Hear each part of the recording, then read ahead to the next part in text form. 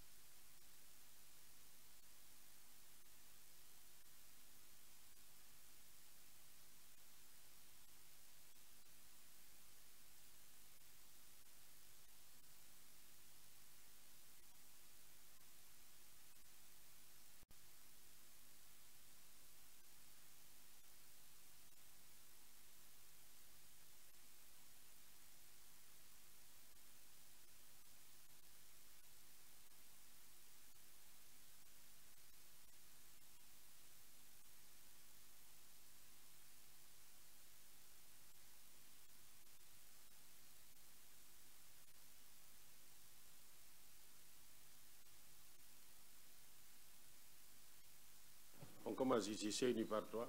Il y avait un micro.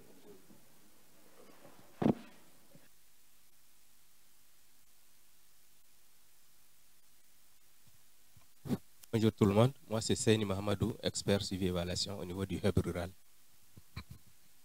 Bonjour tout le monde, moi c'est Abdoulaye Sey au rural. Bonjour, moi c'est Abdoulaye Kamara DRDR de Matam. Bonjour, je suis Tanor Maïtidien, conseiller technique au ministère de l'Agriculture. Bonjour, c'est Madame Mané Fatou économiste au bureau d'analyse macroéconomique de l'ISRA. Bonjour, moi c'est Mika Ndongo et je suis le chargé de suivi du projet d'appui aux politiques agricoles. Merci. Bonjour, moi je suis Papa Alassane Bay, je suis chargé de com au Up Rural.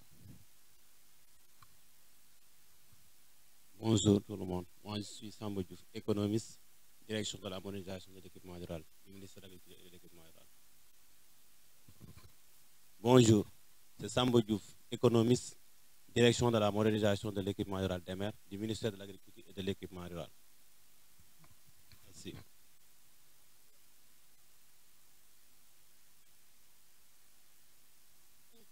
Bonjour tout le monde, moi c'est Madame Ba Aïssatou Sarr. Je suis agroéconomiste à la direction régionale du développement rural de Saint-Louis.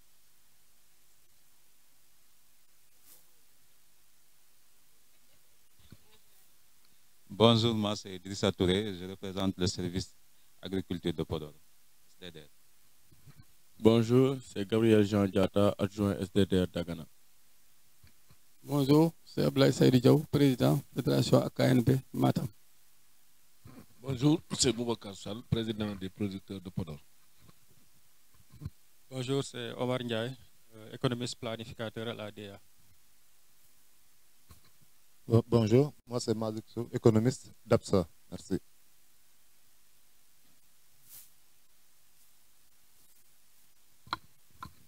Bonjour, moi c'est Tamba agent technique de l'agriculture au service départemental de développement rural de Bakel. Bonjour, euh, Aruna Khan, euh, producteur OP, département de Bakel.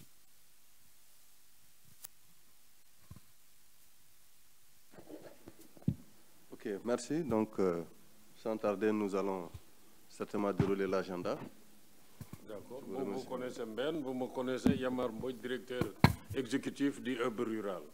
Voilà, donc euh, sans plus tarder, nous allons démarrer nos travaux. Euh, je pense que vous avez tous reçu euh, l'invitation avec la note conceptuelle, avec l'agenda, mais nous allons redérouler ça ensemble. Hein? Euh, hein, L'agenda. Oui, d'accord, c'est pas, pas gênant. Donc, euh, dans la note, la note conceptuelle vous indique le contexte et la justification de cet atelier, son objectif, ses résultats attendus. Les participants, Baldé en a parlé tout à l'heure, un peu la démarche méthodologique, l'agenda. Ah, pardon. Pourquoi, je, il faut comme ça? Voilà. Bon, je pense que Baldé aussi en a déjà parlé. On s'était réunis il n'y a pas longtemps, pardon, au mois d'avril à King Fat, où on avait eu la présentation des résultats préliminaires du projet PAPA bon, sur l'ensemble des thématiques. Aujourd'hui, on va se concentrer sur seulement la thématique riz, la filière riz, pour un peu chercher à approfondir. Donc, on avait un certain nombre de, de, résultats. Bon, ils vont nous les présenter de manière un peu plus agrégée pour nous permettre d'être en contexte et, et d'avancer, approfondir.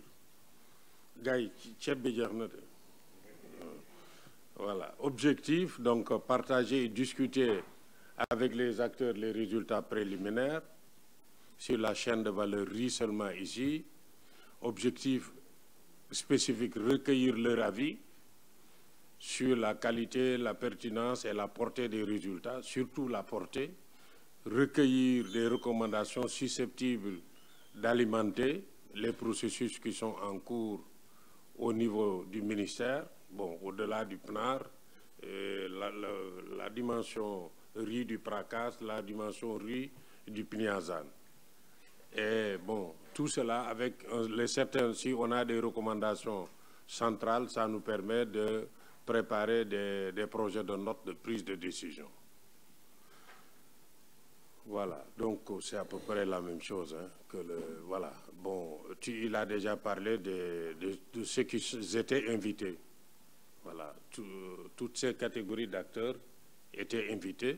Bon, je ne sais pas, peut-être au fur et à mesure, ils vont, ils vont venir. Bon, la coordination du papa est là, le cabinet du MAR est là avec deux conseillers, Wali qui est au PNAR et puis, comment on appelle ça, Tanor qui est au PRACAS, c'est ça?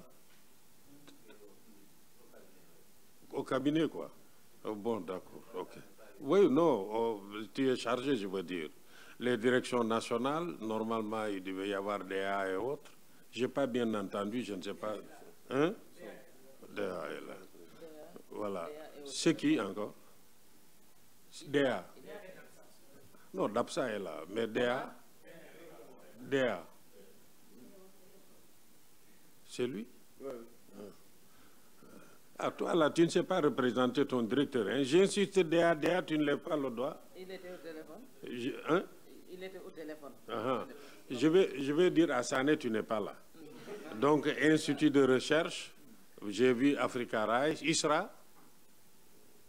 Ah oui, c'est elle. Ouais, c'est vrai. Réseau d'expertise, bon, il y avait Université de Gaston Berger et puis il y avait ISRA encore, BAM. Ouais. Ensuite, Société de développement et agence MAR. Est-ce que la CED est là hein? Ah, ils n'ont pas le droit. Ils sont là à côté. On va appeler le directeur. Hein? Il n'a pas le droit d'être absent. On va parler de riz. La soda gris, ou bien ils n'étaient pas. Hein? Ils, hein? ils ne sont pas là. Ah, ça, c'est ça, ils vont voir. Société de développement, agence, direction régionale, bon, ça, je les ai entendus. Organisation de producteurs. Bon, il y a ça. J'avais vu l'interprofession là. Est? Ndiaye hein? ah, Il vient. Il est arrivé, d'accord. Agro-industriel, j'avais vu Corca. Bon, et, agro-industriel qui n'est pas indiqué. C'est Kumba Norcham. Donc, ils ne sont pas encore venus. D'accord. Euh, institution financière, assurance, CNCA et puis... Hein? D'accord. OK, nous, nous sommes là. Voilà. Maintenant, OK. Bon, euh, comme approche, après cette cérémonie d'ouverture, on va aller vers une session de mise en contexte sur la problématique. Bon, comme au-delà des résultats présentés par le projet PAPA, comme on a la chance d'avoir Wali qui s'occupe de PNAR, bon, il peut prendre la parole pour parler. Tanor, tu pourras prendre la parole pour parler. Bon, tout ça, c'est pour nous mettre en contexte, quoi, pour que tout le monde soit bien informé avant qu'on rentre dans les débats approfondis au cours des euh, focus group. Ensuite, euh, je ne sais pas, est-ce que le nombre que nous sommes, on va aller à deux focus group ou bien on va rester, je ne sais pas, Ben. C'est à vous de voir avec le nombre. Parce que vous savez, les, les focus group, c'est pour donner la parole à tout le monde. Mais aussi, si on n'est pas aussi nombreux, on disperse. Bon, on disperse. Donc, or, on veut croiser des expériences. Donc, si on n'a pas très nombreux, il vaut mieux rester ici pour que, au moins, on est sûr que dans le groupe, il y a toutes les catégories d'acteurs. Voilà. Donc, euh, voilà. Dernière session, bon, si on reste là, ça nous permet aussi de mieux gérer le temps. Dernière session, ce sera sur la formulation des recommandations. Bon, c'est ça qui est mis dans l'agenda, la cérémonie d'ouverture. Ensuite, après, on va avoir... Euh, bon, c'est ce que je suis en train de faire. Hein. Excusez-moi. Bon, peut-être la présentation, papa, tu veux faire une présentation générale sur le projet, les résultats, etc., comme tu as fait à Dakar. Voilà. Non, non, c'est toujours, toujours bon parce qu'on a toujours l'impression d'être informé, mais les groupes changent, et voilà, d'accord. Tout cela, ça, ça oriente. La mise en contexte, donc j'ai dit tout à l'heure que vous voyez, on a mis droite PNAR, on n'a pas eu le temps d'insérer, que la possibilité que PNAR ou bien ceux qui ont l'information sur le PRACAS puissent intervenir pour aussi ajouter. Euh, ensuite, on a euh, l'ensemble, la synthèse euh, des études du papa. Bon, ensuite, après ça, on va aller focus group.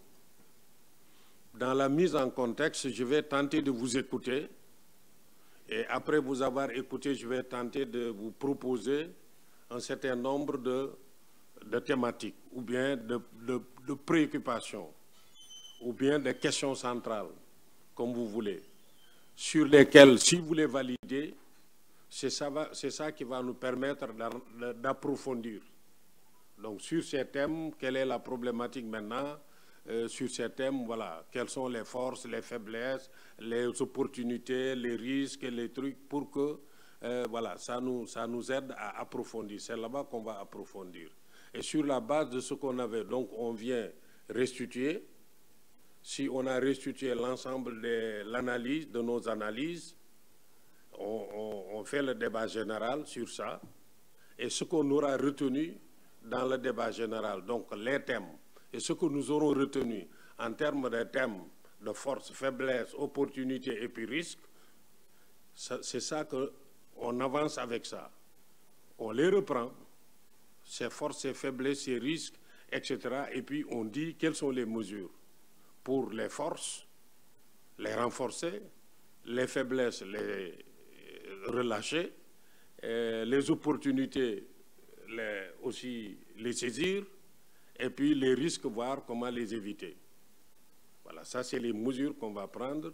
Donc ces mesures peuvent être d'ordre d'investissement, ça peut être des mesures d'ordre fiscal, réglementaire, ça peut être des mesures de capacitation des acteurs, etc. etc. Donc à chaque fois, quelles sont les mesures qu'on prend pour renforcer nos forces, saisir nos opportunités, abaisser nos faiblesses et puis contourner les risques. Voilà. Donc, ça, ça va être le deuxième focus du groupe. Mais maintenant, dans ce deuxième focus groupe, quand vous allez faire les mesures, je vais vous demander de, de, mettre en exergue ce qui est nouveau, ce que vous pensez que ce n'était pas prévu. Bon, comme on a la chance d'avoir ceux qui ont participé dans le PRACAS 1, qui sont dans le euh, processus de PRACAS 2, ceux qui sont dans le PNIAZAN, ça nous permet de dire, bon, vous avez proposé des choses. Si c'est déjà retenu, c'est retenu. Si, si c'est des nouvelles choses, il faut qu'on le sache. C'est pour pouvoir exploiter le temps qui était prévu pour le troisième round. Le troisième round, on disait on consolide avec PRACAS et PNIAZAN si dans le round 2, vous avez mis en exergue un certain nombre de mesures et que ces mesures, vous pouvez mettre en gras que ça c'est nouveau, ça c'est nouveau, bon, il y a la consolidation déjà. C'est ce qui est nouveau, que, voilà, ce qui, ce qui n'est pas nouveau, bon, on le rappelle, c'est bien, ça veut dire que c'est pertinent, mais s'il y a quelque chose de nouveau, c'est pour qu'on puisse récupérer le troisième round, le temps du troisième round, pour dire maintenant, on a préconisé ces mesures. Quels sont les rôles, les, responsabilités de chaque catégorie d'acteurs? Bon, on n'a pas pu corriger ici parce qu'il l'avait mis dans un format dans lequel je ne pouvais pas rentrer pour corriger, pour apporter les corrections. Mais vous le verrez tout à l'heure dans les termes de référence des groupes de travail, j'ai déjà corrigé ça. Donc, ici, on va utiliser le temps pour dire, voilà ces mesures-là. Dans ces mesures-là, qu'est-ce qui est attendu du public, mais qu'est-ce qui est attendu du privé? Qu'est-ce qui est attendu de la société civile, du privé dans sa diversité Qu'est-ce qui, dans le privé, qu'est-ce qui est attendu des OP Quel rôle ils doivent jouer? Qu'est-ce qui est attendu des investisseurs nationaux? Qu'est-ce qui est attendu des investisseurs étrangers? Qu'est-ce qui est attendu des, euh, sociétés de financement? Parce que pour, pour, qu'on évite qu'il y a un bloc de mesures seulement, après on ne se pas, on pense que ce bloc, tout le monde pense qu'il n'y a que l'État qui doit intervenir. État, le public doit intervenir pour créer l'environnement, mais Il faut qu'on soit conscient que les investisseurs, leurs OP, les trucs ont leur rôle. C'est eux qui doivent vraiment travailler à la transformation de l'agriculture. Voilà.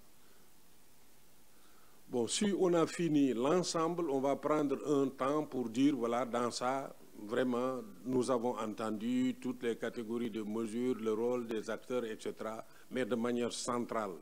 Qu'est-ce qu'on peut sortir vraiment comme recommandation principale vers le, MAR, etc. Voilà. Donc c'est avec ça qu'on va terminer maintenant l'atelier. Bon, le reste, ça va être tirer les conclusions, faire la cérémonie de clôture et puis partir. On a mis pause déjeuner, mais il n'y a pas de pause déjeuner. hein. Voilà. S'il y a des questions de compréhension, s'il y a des questions de compréhension, de suggestions, etc., etc.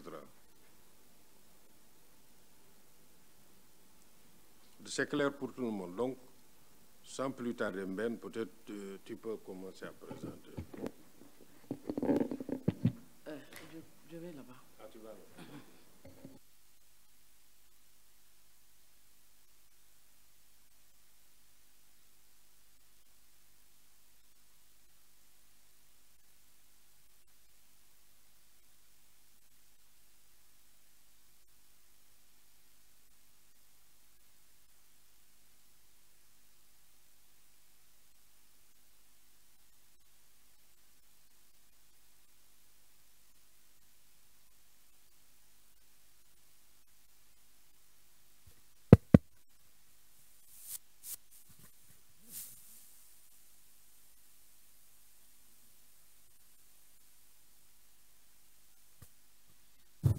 Merci, euh, Président.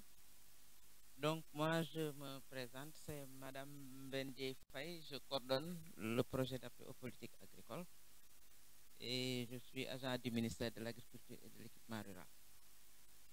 Donc, on va faire une brève présentation du papa pour permettre à ceux qui n'ont pas encore participé à un de nos ateliers de mieux comprendre euh, ce que le papa fait et avoir les informations générales en gros.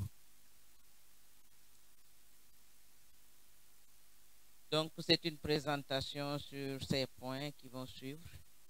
Euh, les généralités sur le papa. Donc, euh, c'est le projet d'appui aux politiques agricoles. Il est financé par l'ISAID sur requête euh, du gouvernement sénégalais via le ministère de l'Agriculture et de l'Équipement rural. Un de ses objectifs, donc, c'est de mettre en place un système performant de formulation, de mise en œuvre et de suivi évaluation des politiques agricoles. Comme son nom l'indique, c'est le projet d'appui aux politiques agricoles. Euh, le projet a démarré en juillet 2015 et doit prendre fin pour cette phase en juillet 2018. Euh, ses partenaires de mise en œuvre, donc il y a l'Université américaine de Michigan, euh, il y a IFPRI et Africa Lead qui sont des partenaires dans la mise en œuvre, mais avec une coordination du ministère de l'équipement de, l'agriculture et de l'équipement rural. Les objectifs euh, du projet, euh, c'est le renforcement des capacités nationales en termes de recherche, d'analyse et de communication des politiques, des résultats sur les politiques euh, agricoles.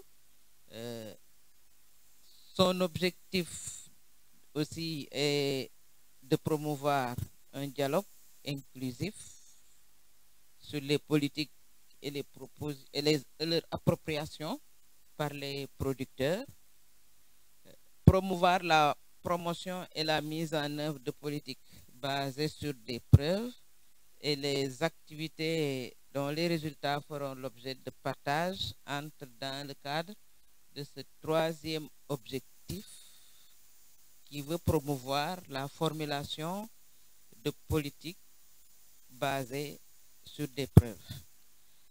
Un quatrième objectif, c'est de faciliter la mise en œuvre effective et le suivi évaluation des politiques. Donc, pour chacun de ces objectifs aussi, il y a des activités, peut-être qu'on ne pourra pas décliner dans le cadre de cette présentation. Et un cinquième porte sur la bonne communication, aussi bien au sein du Mayer qu'auprès de nos partenaires, les résultats de, de ce projet. Et aussi, cet atelier aussi entre dans le cadre de cet objectif 5. La stratégie de mise en œuvre, donc j'ai parlé des partenaires dans la mise en œuvre des activités avec chaque structure, donc ayant ses compétences, un volet dans lequel il, intervient maintenant autour du Mayer qui est au milieu pour assurer la coordination de toutes les activités. On a parlé donc de partage des résultats et d'enquêtes et pourquoi la conduite de ces enquêtes. Dans un premier temps, nous voulons promouvoir des politiques basées sur des preuves. Donc, qui dit preuve dit données et qui dit données donc parle d'enquête en général, la collecte de l'information auprès de qui de droit en utilisant des outils appropriés. Il est question aussi pour des politiques basées sur des résultats d'actualiser. On a besoin d'actualiser parce que des informations existent, mais certaines d'entre elles peut-être ont dépassé le durée de vie, sont devenues peut-être plus adaptées pour être un support dans l'identification d'axes de politique. Et un troisième aspect, c'est le besoin de combler des gaps qui, qui, existent et qui concernent souvent des filières majeures sur lesquelles il est bâti un ensemble de politiques. Le processus de préparation de ces enquêtes, donc il y a eu l'implication du réseau euh, d'expertise locale dans le cadre du projet d'appui. Il y a eu un atelier, d'abord l'identification de tous les acteurs qui interviennent dans le domaine euh, des politiques agricoles.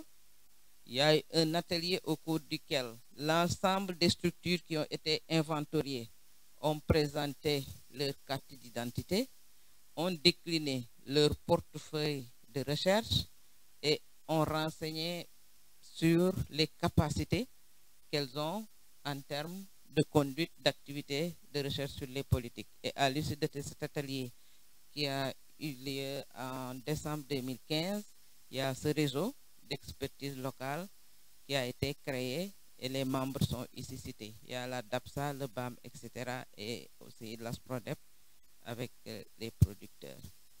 Après cette étape de constitution de l'équipe qui devrait prendre en charge les activités de recherche au sein de ce projet, il y a eu l'identification des thèmes. Après l'identification des thèmes, il y a un appel à manifestation d'intérêt donc qui a été lancé auprès des membres du réseau qui a été créé. Donc il y a eu des réactions de leur part avec un long processus de screening, de sélection de qui doit faire quoi. On a abouti maintenant à une répartition des tâches sur la base des critères adoptés de commun accord avec les acteurs, à savoir l'expérience de la structure, son expertise dans la thématique euh, pour laquelle elle s'est positionnée et aussi la disponibilité des ressources humaines parce que quand on parle d'enquête, il y a une masse critique donc qui doit être disponible pour mener à bien les activités qui sont confiées à la structure.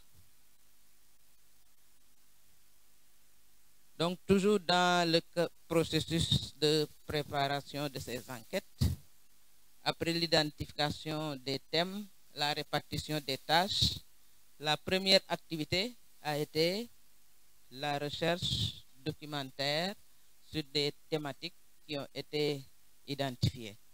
Les chaînes de valeur céréales sèches, par exemple, a été un groupe de produits à examiner, les chaînes de valeur fruits et légumes, la maîtrise de l'eau et les investissements privés dans le secteur des engrais et des semences. Et ces thèmes ont été tirés donc du PRACAS 1 avec les chaînes de valeur prioritaires sur lesquelles euh, le document a porté. Après cette revue, il y a eu un atelier de validation de la revue qui a fait le point sur les résultats existants concernant chaque thématique, sur les gaps à combler et aussi sur les orientations à donner à la recherche des informations qui viendront compléter l'existant. Et maintenant, c'est au cours de cet atelier que les gaps ont été identifiés et l'atelier aussi avait la participation de toutes les catégories d'acteurs et des acteurs clés pour chaque thématique citée plus haut. Les questions de recherche aussi ont été discutées et c'est à partir de ces questions de recherche que des protocoles ont été élaborés et les outils de collecte de données ont été aussi développés et validés pour aller maintenant sur le terrain avec la conduite des, structures qui ont été citées dans le cadre du réseau pour entreprendre les activités de recherche sur le terrain. Ici, nous avons l'ensemble des thématiques qui ont été abordées au cours de, de, des enquêtes avec première colonne, c'est les thématiques. Donc, il y en a 13 au total avec des, les responsables pour chaque thématique, euh, les zones dans lesquelles les enquêtes ont été menées. Et la quatrième colonne, c'est l'échantillon, les, les échantillons qui ont été enquêtés.